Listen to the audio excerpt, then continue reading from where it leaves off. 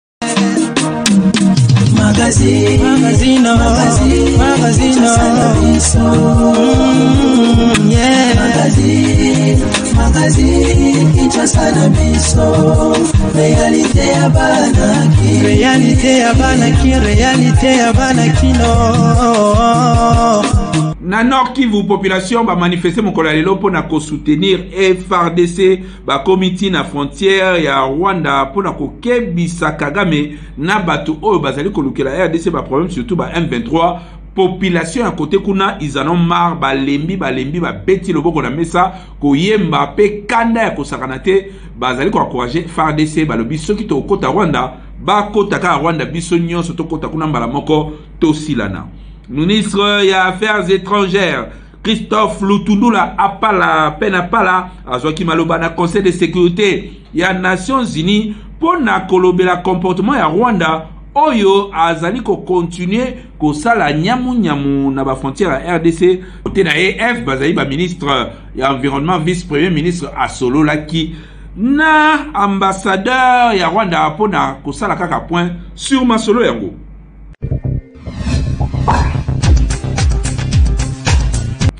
bozali ebele ya kola na knb news euh, nazali na plaisir euh, ya kopresente bino yango mokolo ya lelo bozala toujours wana mpamba te oyo ezali premier magazine oyo epesaka bino information en continu kasi na lingala intervention ya vice-premier ministre ministre des affaires étrangères Christophe euh, Lutundula pala pena pala na Conseil de sécurité ya Nations Unies pe interpellation ya ambassadeur ya Rwanda awa na République démocratique du Congo par le gouvernement congolais ba élément bolanda na reportage oyo. Intervention ya vice-premier ministre euh, ministre des Affaires étrangères Christophe euh, Lutundula pala pena pala na Conseil de sécurité ya Nations Unies pe interpellation ya ambassadeur ya Rwanda awa na République démocratique du Congo par le gouvernement congolais ba élément bolanda na reportage oyo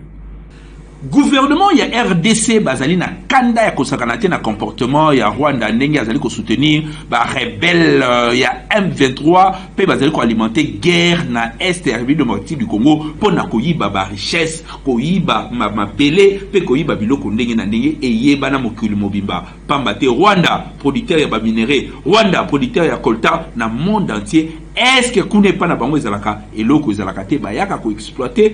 oyo bayaka kozwa awa na Republique Democratique du Congo? Lokola makambo wana eyebani na misu ya bato nyonso pe Congolais mokolo ya lelo a decider que coop wana aboma yango Felix Antoine Tshisekedi Tshilombo president de la République alingi lisusu makambo wana te, yango wana nde asengaki gouvernement ba interpeller ambassadeur ya Rwanda oyo azalaka awa bayebisa ye babenda ye matoyi apekisisa Kagame makambo oyo bazali kosala kuna. Kote na ye ministre ya affaires étrangères vice premier ministre Lutundula Apala Pena Pala Christophe asololi masolo yango kutu na conseil de sécurité mpo na koloba ke Rwanda azali kokontinue kosala nyamunyamu na Republique Democratique du Congo. Toboyi na biso, toboyi na biso, Rwandais afanda na Rwanda, Congolais afanda na Congo, soki tokokopere lokwa ba voisin, tosolola malamu. du Rwanda pour lui signifier trois mots. Le premier, c'est la protestation, n'est-ce pas, du gouvernement congolais face à ce qui arrive. Le deuxième mot, c'est la désapprobation.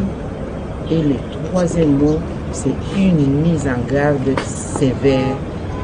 du comportement de la Acceptable, en tout cas, pour un gouvernement, pour un chef d'État responsable, que un seul mètre carré du territoire national soit occupé par des rebelles, par un groupe armé empêchant les citoyens de la République de vaquer à leurs occupations, empechant le gouvernement d'appliquer le programme de developpement national. Donc je voudrais que sous ce point-là... Hey, eh, RDC azali na tournant décisif nango président de la République Félix Antoine Tshisekedi na politique pe diplomatie agissante na ye oyo ye asalaka mpo na mboka oyo amilobeli ke tour oyo guerre ya est esengeli ye sila population ya kuna afanda na kimia na ba moyen nyonso alobi akosilisa guerre oui lelo population ya nord kivu balembi lokola population congolaise nyonso balobi tosilana kaka mbala moko na rwanda bakei na bafrontière mpo na koencourage fardc koyebisa bango babunda balemba te mpamba te makambo ya rwanda oyo il faut tosilana mbala moko Eyayimbami tosini eyoma nzembo oyo bandeko na biso ya Goma bazali koyemba na bandeko bazalaka frontière na Rwanda bazali koyemba balobi soki FARDC azali kosala retard bango population bazali prêt ya kokota ti kuna na Rwanda c'est-à-dire population oyo batelemi balobi bazali kosoutenir FARDC na bango babeta masasi kuna na Rwanda soki ekoyinda eyinda mais ndenge ezali kokendele population alobi Mabele ya rdc ekofandama na ba Rwandais te mpe Rwandais akobeneficie na eloko te ya mboka oyo akofanda epai na ye kuna na kimia nyonso. Oyo bakokanga rebelle akosubir rigueur ya loi mpamba te bazali kokangama moko moko lokola bambinzo mpe konyatama lokola kayasa. Ça chauffe, ça chauffe ici. Nous sommes à la frontière euh, de Rouzizide. Nous sommes à la frontière de Rouzizide. La population vient de déborder. Eh, hey, population mpe ezalaka boye bitelema telema eza te kaka makambo ya kobina makambo ya miziki to makambo ya bale esengeli mpe totelemelaka makambo ya mboka boye mpo ba voisin des population congolaise esengeli tosimba na loboko na loboko meme ba professionnel ya media mpo na koyeba bongo kosoutenir frdc oyo bazali na front tobosana makambo na biso ya kati tobosana opposition tobosana majorité tobosana nzala kasi tokanisa parti ya mboka oyo elingi kokende na banguna tosangana biso nyonso main dans la main tosoutenir frdc bolanda eloko oyo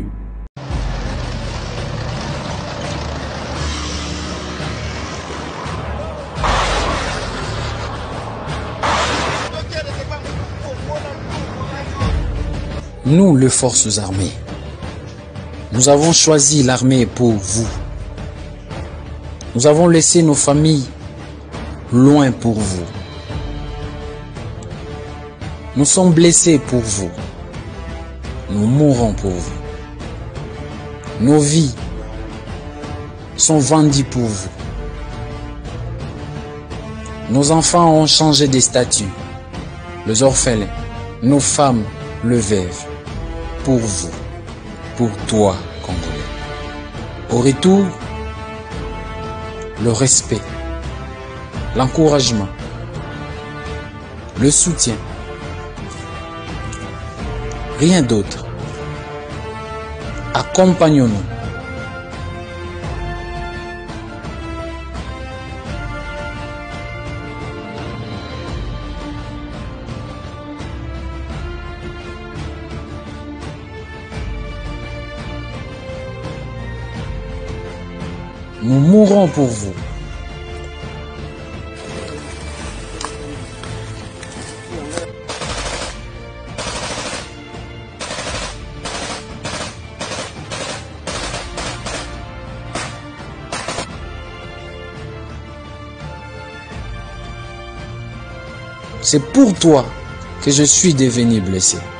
C'est pour toi je laissais ma famille. C'est pour toi j'ai choisi le sacrifice suprême. C'est pour toi. Je passe nuit dehors. C'est pour toi. Je ne ferme pas l'œil. C'est pour toi je suis sentinelle du Congo. Du respect. Du respect et de l'honneur. C'est pour le Congo que nous mourons. Grâce à nous, le Congo est là. Le respect et l'honneur. Vive FARDC. Vive la République démocratique du Congo. Vive notre population. ndoki politique euh, lelo intervention ya kemi seba moko ya ba panafricaniste oyo azali kolobela vrai face ya paul kagame oyo azali mpo na ye selon maloba na ye un mal pour l'afrique en rdc kagame est un cauchemar pour les africains lucides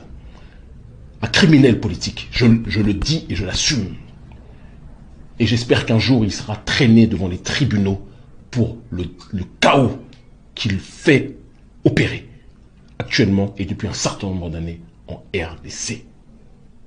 qu'on ne dit pas les choses avec vérité, je sais que je vais risquer des choses en disant ça, mais il faut qu'on ait le courage de le Vous parlez de développement matériel, vous tuez les gens. Qu'est-ce que vous voulez créer Une société civilisée ou un cimetière À un moment donné, il faut s'interroger sur la situation que connaît cette région. Sans quoi ne pourra jamais avancer. Un pays qui ne produit pas le coltan, mais qui est le premier exportateur de coltan de l'autre côté, le pays voisin qui est complètement détruit à l'Est, détruit par la malgouvernance aussi congolaise, entretenue par l'oligarchie rwandaise, disons-le, et par la corruption congolaise. Ces choses-là doivent changer. Le docteur Denis Mukwege, mettons les histoires de prix Nobel à part, doit être soutenu. Et aucun panafricaniste digne de ce nom ne devra avoir le toupet de citer Kagame en exemple, parce que le développement du Rwanda n'est pas le développement génial, matériel de quelqu'un qui bosse pour bosser, c'est quelqu'un qui a été soutenu par toute l'oligarchie occidentale pour que ce pays soit le laboratoire de la déstabilisation de la sous-région, de la destruction de l'Est du Congo. Donc on ne dit pas ces choses, tout le reste c'est de la périphérie argumentative. Je suis déjeuné de parler avec le cœur,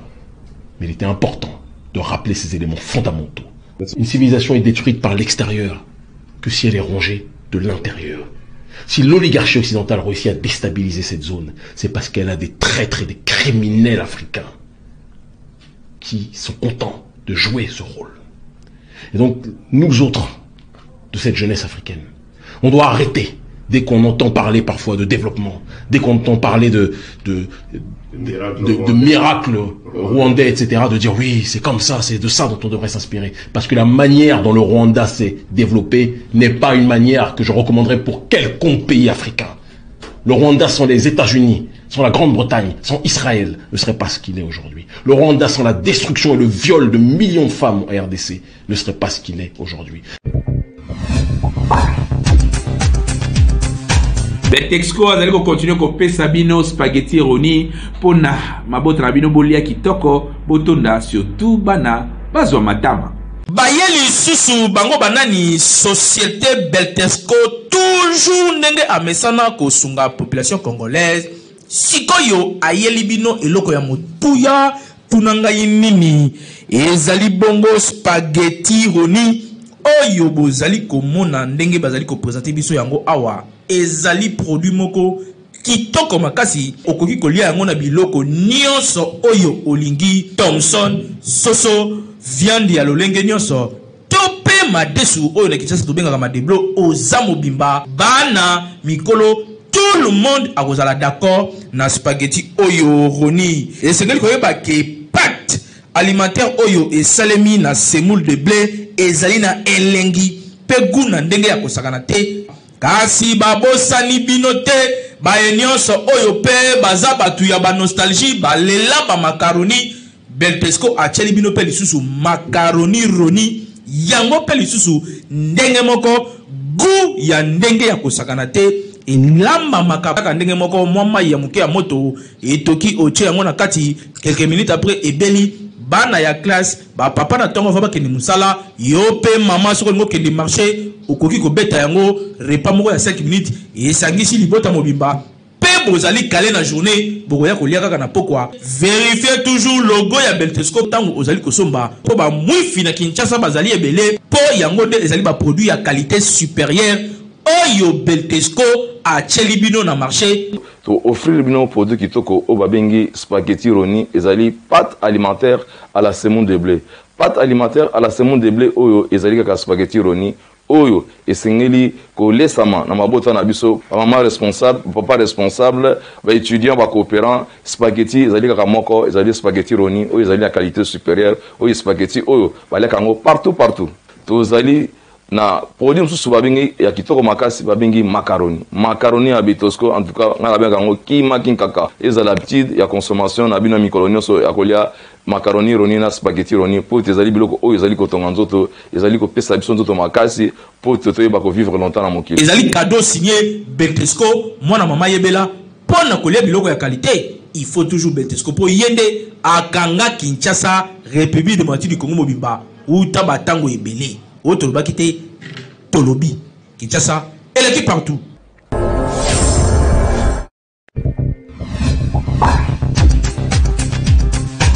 transport ya moto mpe ndenge situation ya transport ezali kose vivre awa na république démocratique du congo tozwi exemple ya bato oyo batravaka kote ya pompage na monga fula ngalema bolanda baélément ya reportage oyo lelo na ville ya kinshasa taxi moto ekoma moyen oyo bakinois bazali koprefere makasi mpo na kose deplace mpamba te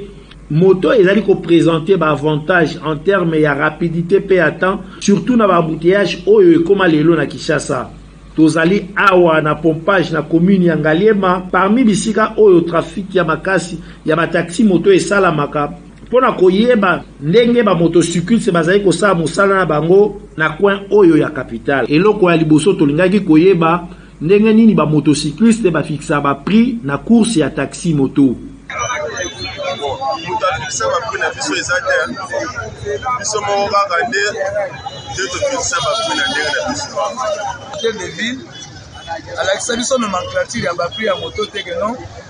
ba moto par exemple ezosala de mbudi de pompage en mbudi il faut efuta autant de pompage à magasin il faut efuta autant donc ezaka ba prix moko forfaitaire par rapport ya réalité sur terrain conformément à la loi de l'offre et la demande soki demande eza supérieure à l'offre tomakisaka prix soki tolandi kaka principe oyo ya loi ya offre mpe ya demande Population nde ezali kokufa par manque ya reglementation ya secteur oyo na bakonzi ya ville ya Kinshasa. Neti lelo na tongo, course oyo ezalaka 1000 francs pompage magasin Kitambo ekomi 2000 francs directement la course par personne.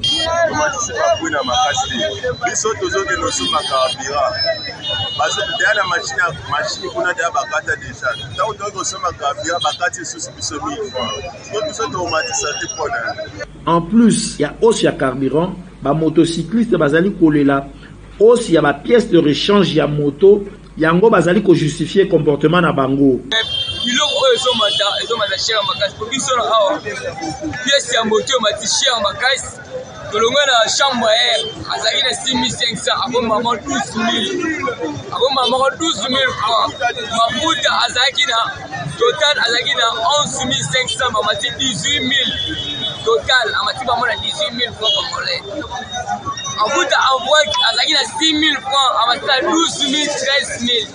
moto mosusu 11000 sikoyo boyebisa biso toyebi te moto mpe ezomata ipareke toyoki moto ekomi ava osomba moto osomba na plake ote osomi moto ozwi idola susu opesi ya plake wana na toboyi wana bogere makambo na bino na nyonso wana obakisi tracasserie ya baroulage baudiana voire meme ba haut grade ya la police nationale bazali kotelema na nzela Mpo na kokanga bamoto kaka mpo na madesu ya bana.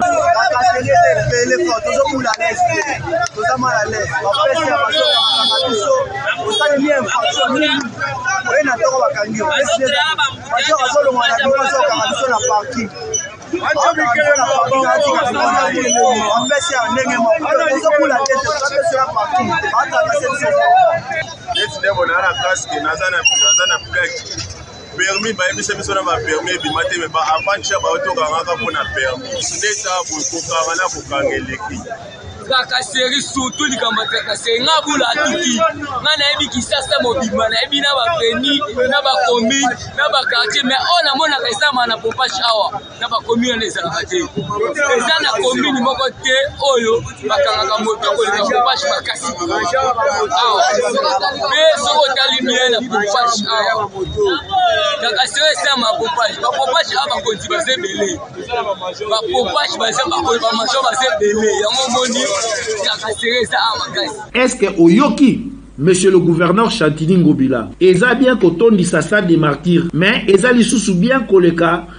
ya kotia ordre na secteur ya transport ya ba taxi moto na ville ya Kinshasa. Yango ba deputes provincial bazalaka lisusu te eza nini?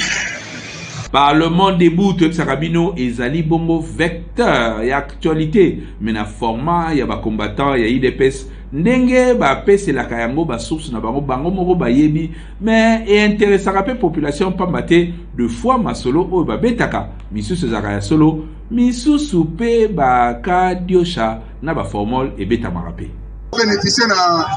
na lite na biso esalaka pa mpe bazo ede presente me wana tokobeta yango nsima omoni nalobaka auguste kabuya lunyeka ke kabuya lunyeka kitama take omona lire oyo toke makambo s'il faut un secrétaire général tya motu basala nini Tala na Martin Fayulu azo organiser marche vendredi, c'est vendredi. Mais IDPS c'est nous. On est pouvoir et ça banane. Ah mon mon bon mais elle sous te Kagame azo bon mata azo la kisake ah Kagame azo lo ben c'est biso to ke son. Si biso IDPS soit dans le bon bon IDPS on lo batel. na fayulu kuta azoloba fayulu aorganize marche babetu muzito olobi ngai nakokende na ngai atuli muzito okende mpo na nini ye asangani na ka aoke bitumba ese komona yango nani yango oyoki bango bazoloba o felix akutana na kabila basolola mpo na gere esila baza mu oyo oh, jacques azoloba bomba bomba tobeta na faci moko atombolo maboko chef de l'etat wana toza président monene lokola ye te moshe président yenga Kagame azosakana na na na Republique Democratique alobaka chaque jour oyo eza mabele ya Kimbangu oyo eza mabele ya Kipavita soki omeki mo aresi makambo nini ezosalama na este susi na bango eza nini bamultinationaliste nyonso ya mokili basoros Kofi Annan, bato basala to créer Lamuka, Hillary Clinton, tozalaka na bango na Genève. Bango nde bazwaka biso nyonso en charge. Omoni baopoza nyonso bavoisin bakendaka na nini na Genève. Mbongo wana ebimaka epa bamiti nani nationaliste babimisi ba million babengisi ba opposant susi na bango kaka ezala kaka likambo ya ese ya mabele kaka beye moko esi alobi oyo olobi eza verite ke mboka na ye eza moke eza mpe ya solo mboka na eza nini tomona puissance ya président de la république diplomatie na ye na sagesse na ye Tango bakendaki na Kagame bakende koyokana, souci ya Felix eza na kati ya mboka kimia esala nini? Na est kimia esala nini? Ayebisaki bango oza na posa minire, yaka tosolola, bino bozwa biso tosala nini? Kagame abisi Felix, yo esengeli kaka o negocier na MVR. Tango Felix akendaki na mboka oyo na nini na, na Kenya, abi yo kaka il faut MVR to bosolola olingo okitama te fo osolala na nani Felix abi ça va na boyi te soki ozanga kosala solo na emi 23 yo mpe solo wana fde oyo kagame soki otekaka fdl eya lokola onyati na lisapi ya nini ya suka asusu mokano mbala moko kande matala te seni Yo ntango oyebisi moninga aswa na M23 o M23 esi bazalaki basoda esi bakota na guvernema bakoma baministre yango badepute na epoke ya Hippolyte Kanambe na 2012 makambo wana esala nini esila bayokani te basali kaka mwa lokola bayokani te nde kaka babia moto ezala lakisa ye azwaka manduki te asala nini arenforce m23 apesi bango bibundeli ya makasi babandi kobunda nde oyokaki yo 30 kilometre nde oyokaki bamultinationaliste bazosala bazokola na santage me nayebisaki bino awa président boduka to président moko na biso ayaka awa alobi ke président négocie avec le pays na minute oyo conseil de sécurité ya nations unies tokomi na suka ya kanb news tokocontinue toujours koservir bino plaisir ezalaki makasi surtout mokolo ya lelo oyo Serviteur na bino nazali nazali ko fete anniversaire na ngai na sepeli pamba te anniversaire wana ekosala ke nasalelaka bino mosala toujours kitoko mpe nayeba bongo koservir bino na cadre ya actualité oyo ezalaka bien fignole mpe donné d'une manière très professionnelle tala kaka knb awa kinshasa eleki partout bato oyo basalaka mosala awa ezali bato oyo basalaka mosala na professionnalisme maseki ezali te tatonement eza te oui